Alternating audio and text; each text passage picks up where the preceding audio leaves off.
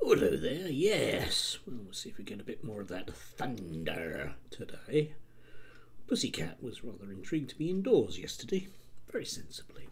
Yes, anyway, uh, today I just wanted to have a look at a couple of videos with your friend and your friend, not mine, uh, Peter Whittle and Rafe from the New Culture Forum, who were on a lot on Talk TV yesterday. And I just want to sort of highlight um, the kind of weird world that they live in and their use of that kind of 55 Tufton S- Street um, uh, uh, uh, sphere, uh, think tankosphere, something like that. Anyway, let's dive in. Yes, well, first up we've got uh, Vanessa Feltz's uh, TV show. I'm presuming it's a kind of mid morning thing. Uh, Vanessa Feltz is perhaps a working definition of uh, this particular type of show, so I don't think we're going to get any particular journalistic insights from her. Anyway, she's got Hi, I'm Peter Whittle next to her, and let's see what we're going to be talking about this morning. Welcome back. Some Church of England school pupils are being taught that they benefit from white privilege. Teaching guidance issued by the diocese, which oversees 87 schools, states that pupils should learn that white privilege means that they are the dominant representation in all media. With me in the studio is the director of New Culture Forum, Peter Whittle. Hello, Peter. Hi, and joining us down the line is Nels Abbey, broadcaster and the author of Think Like a White Man. Hi, Nels. Good to see you on the programme. Maybe. Right, uh, just dive in there. Um, her initial statement about white people being the dominant uh, group represented in media, I, th- I, think you'd find it really hard to um, disagree with that. They simply are because they're the dominant group in society. And by dominant, I mean total numbers. I'm not using that as a power one, but we will come on to power. Um, yes, anyway, um, I did a video a few days ago, uh, sort of debunking this notion of what is taught to pupils uh, daytime TV, nighttime TV, TV news generally can't get its head round the notion of teaching something isn't the same as teaching something. They are two distinct things. I can teach children about Nazi Germany, I'm not teaching them to be Nazis. The two things are separated. Anyway, yes, let's dive in a bit further. Maybe I'll start Thank with you. you. Do you think it's important, Nels, that pupils should be taught about white privilege? And if you do, maybe you'll tell me what white privilege is, just in case people don't know. Yeah, I think it's absolutely essential that uh, people, young people in our society, have an understanding, a grounding of our society as it actually is. So, in a, a critical part of understanding our society is understanding the concept of white privilege. And white privilege um, simply means that you it's well, privilege simply means a lack of obstacles, um, and white privilege in this context simply means that you that you don't face obstacles by virtue of the fact that you are white. It doesn't mean that life might be won't be simple or life won't be hard or you won't face obstacles, but it just means that those obstacles won't be related to your ethnic or racial background. And what's quite interesting is that you can really sum that up in a sentence or less. So, do you think it's really essential to teach it, or can't they just be told once, or you know, say you know, to bear in mind that if you're white, you won't have the same obstacles as somebody who's black. You might have others, but you won't have the same. End of. Is there any more to teach? Do you need lesson after lesson on that on that same theme? Right, okay, and again, uh, don't really understand what teaching is. Um, uh, if you think about the uh, PSHE, PHSE, whatever it's called these days, curriculum, um, you can say to kids, if you like, um, uh, don't take drugs, don't overeat, uh, don't drink too much uh, when it's legal, uh, have sex responsibly, and take some exercise. You could say all those things in just like, well, as short time as I did. However, that's not really the way that we sort of give messages to children. And you may notice here that the guy, all the guy is saying is that if our notion of white privilege is just that, that if you are white in society, you will not face the same type of attitudes from the dominant majority as you would do if you were black. And you can apply the same thing to um, notions around class, if you like. Um, uh, a hooded kid at a shopping mall will have a very, very different experience of shopping mall security to someone like me wearing a suit. You know, that's simply the way the world is. Again, I don't think you can argue with that. However, we know that Peter will. Oh, I think how so it's it's like it's it's easy to to to define oxygen or so, but it takes a little bit more, a little bit, a few lessons to properly make sure somebody understands the impact and the role of oxygen within our society. It's the same thing about white privilege too. That it's, it, I can make a roll off the tongue, but at the same time too, you have to go into a bit more depth of understanding, so particularly for younger people, so they know what they're seeing. And I think the objective here for all of us, particularly as far as the Church of England, who uh, Church of England, I must point out, really does owe uh, black people both presently and historically. But um, but but I think the key thing here is that it's important for us as a society that we are teaching our young people and making our society as compassionate and as cutting edge as possible. And I think in teaching this concept, as well as teaching other things such as financial responsibility. Nels, or, I've got to stop uh, you before you before you go off into the realms of financial responsibility, which is a totally different program. We're not talking about it, and we're very low on time. So let me talk to Peter yep. Whittle about this. Nels says it makes perfect sense. Do explain to young people what white privilege is and that they may or may not be benefiting from it. But that's not really the point, and, and my friend here is not is being disingenuous. White privilege is the idea that by virtue of being white, you have innate privilege. So if you take this country at the moment, the most underprivileged people in terms of education, and we're talking about schools, are indeed white working class boys. They are the ones that do the worst at school, and they're the ones who are least likely to go to university. It's based, or it comes out of, something called critical race theory, which is being pushed in our schools now. There's a very good report just come out today uh, by Don't Divide Us all about this. It's not just the Church of England. And it basically says there is inherent white privilege, Britain is structurally racist, its history is racist, and just one story, long story of oppression, all of which I reject. This should not be taught as though it is somehow fact, and that is what is happening increasingly in our schools. Well, let's just check with Nels. I'm imagining Nels thinks that is fact. Do you, Nels? Of course, it's inherently fact. Absolutely, um, it's, it's inherently fact. It, it's demonstrable. It's demonstrably fact. I don't think that that's um, no credible body. Okay, yeah, just to dive in there because we will leap on ahead from this.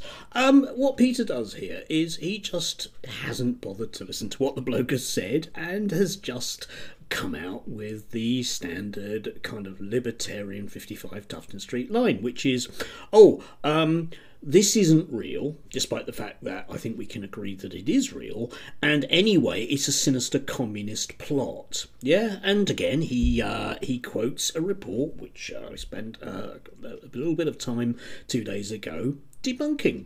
Okay, Don't Divide Us aren't a grassroots organisation in any way, shape, or form, but are very, very, very closely linked to uh, groups in 55 Tufton Street and indeed to GB News, for example. What Peter is saying here is, oh, you know, we must con- must be concerned with the white working class. Peter doesn't care about the white working class, and if he knew anything about education, um, we could have a long discussion, which he, I won't have with anyone who's learned, and you can see how angry he gets about with this guy who obviously knows what he's talking about because he actually works with the white working class, which is something, of course, Peter doesn't do. What Peter does is tip the white working class. That's what they're there for, for Peter. But anyway, leaving that aside, he gets angry about this because in his world, he uses race as a means of furthering a particular political agenda. That's all he's interested in. That's where his money comes from, on a really blunt level. And, you know, uh, I can give you uh, reams of statistics about which particular class groupings and ethnic groupings in the UK do worse in education. And drumroll, it isn't particularly the white working class, it's Roma kids. All right, across the board, it's Roma kids. There we go. And in various places in the UK, it's black. Um, it's uh, Bangladeshi males. All right, and you can like you know the example of, that was used a couple of days ago was about uh, Haringey. Well, in Haringey, black working class kids do worse than white working class kids. But that doesn't fit in, that reality, that nasty reality, doesn't fit in with what Peter wants. Yes, and uh, having been told uh, uh, by somebody uh, about the work they do with white working class kids, uh, uh, Peter just poo poos the whole notion because, of course, he has to know better because he's Peter. I'm not going to bring the issue of race into that, but it's essentially there. Um, let's move on and see what Peter has directly to say about this. Competitive Let me ask Peter, do you think do you think it does any harm to Yes, teach does. children about white It privilege? Absolutely does. Why? Because if you tell people, uh, if you tell white kids, oh, you are inherently privileged, you're inherently racist, actually, and if you say you're not racist, that's also proof that you actually are, right? Because you have unconscious bias. You know, all of these things are terrible and confusing for young people.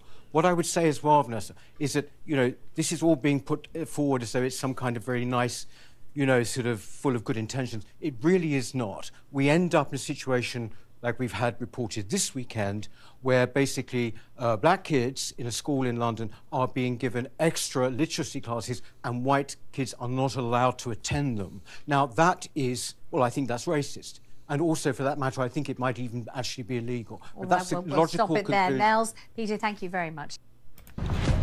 Okay, yeah, just to dive in there. Apologies for that bit at the end. Yes, indeed. Um, again, Peter brings up this report. All the report is all over the press, so it must be true. No, it isn't. Uh, that thing about Haringey. Yeah. And you know, you can see this guy is actually angry because so he lives in a world where his worldview is essentially set by the people around him. And when we come on to the next video, I can, you know, sort of very much show this thing as well. But you notice, I mean, his his response to this is authoritarianism. Yeah. If Peter gets his way, none of these concepts, in inverted commas, will be taught in schools. Okay, great. So we'll just get rid of critical thinking in schools, shall we? And yet, Peter and, and the rest of the 55 Tufton Street crew are the first people to jump up and down and scream about young people being indoctrinated. But, of course, it's okay provided they're indoctrinated in the right way, and that's what he means. Yes, right. Anyway, next we come on to the Independent Republic of Mike Graham. Uh, Mike Graham uh, has a background in football journalism, so of course he is the archetypal bloke in Wetherspoons, uh, sort of mid-morning uh, uh, after actual news that you get. Um, yeah, uh, Mike Graham, independent. Nope, he works for Rupert Murdoch. Republic, he has no concept about the, what the word means. So let's see him and Rafe in action. Welcome back to the Independent Republican Mike Graham right here on Talk TV. We're talking to Rafe Heydel-Mankoo, historian, broadcaster, and senior fellow at the New Culture Forum. Uh, we had some movement yesterday on the migrant bill, Rafe. It looks as though uh, the House of Commons was able to sort of do away with quite quite a few of the House of Lords amendments that were brought in uh, famously the other week uh, when uh, the Archbishop of Canterbury was sort of leading the way for the wokists. Um, they're also talking about bringing in age tests for migrants as well, which has got to be a step in the right direction. Yes, well, I mean, Okay, just to leap in there. Uh, yes, okay, setting this one up. Um, yeah, uh, Mike doesn't understand the way the House of Lords works. Rafe doesn't understand the way the Law House of Lords work. Why on earth are we accepting these morons on our television? And the answer is it doesn't really matter because they're not interested in the way the world works. They want the world to operate on their level. And just to put, put, put this forward, you cannot age test somebody. There is no mechanism in a biological sense that you can do that, but that's not really what they're interested in. Anyway, we'll need to leap on a couple of times here. Okay, just to leap on a bit, let's hear from Rafe, man of the people. But a particular plague on the House of Lords, you know, for deliberately trying to, to scuttle this bill and or kick it into the long grass. And it just shows how out of touch they are with the British public and how little they understand the consequences of this. I happen to be go for, Okay, just leap in there. Yeah. Um. Yes. Again, Rafe doesn't understand what the House of Lords is there. Uh, the House of Lords is there to make sure that rubbish bills from the House of Commons uh, are kicked into the long grass because they're rubbish bills. That's what they've been doing. You might not. You can disagree with uh, their interpretation of it all you want, but that's their job, and they that's what they've done.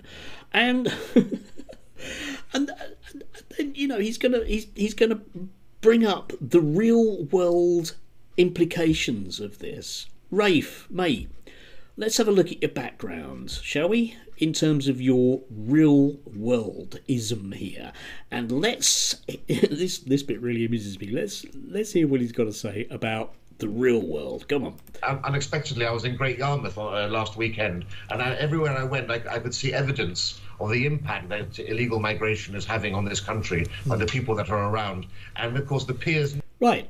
I wonder what he means by that. Um, could it be that he means people that look like him but don't wear a bow tie? I think he does.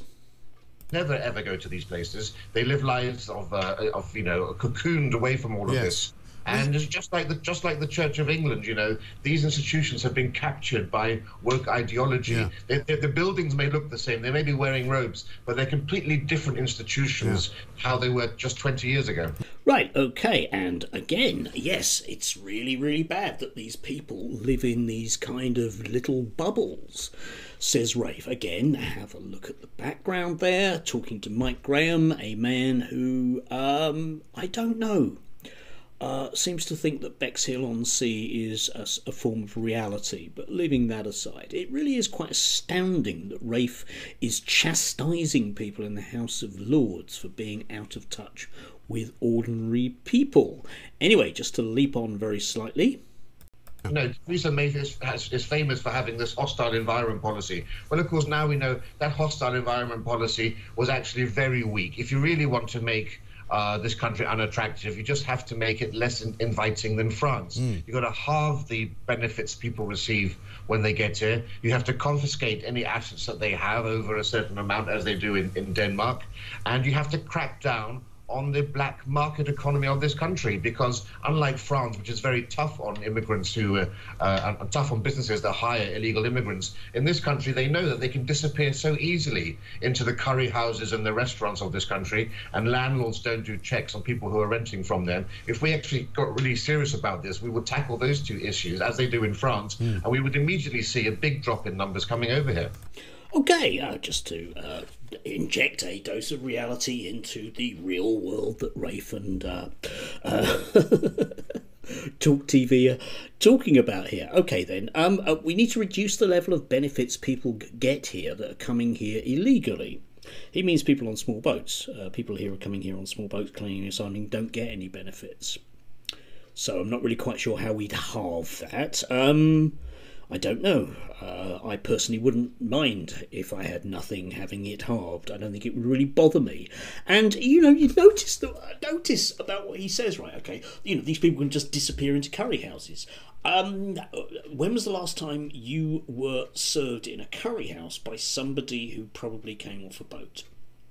It isn't a thing, is he? He means brown people generally, because again, despite his protestations, he and Mike don't live in the real world. It's this little bubble, and I don't know. The irony free zone that we see here is really quite, quite something else. Yes, well, there's nothing I like better than seeing two blokes like that, three blokes like that, telling me about the working class. Thanks, guys. Really appreciate it. Tell me more about your worldview. Anyway, do have a lovely day. Jeez, I don't know. I don't know. These people get so much airtime, and it's oh, it's astounding. It is just always astounds me. I shouldn't be astounded because that's the way that power and privilege and money and capitalism works, but it still does. Anyway, have a lovely day.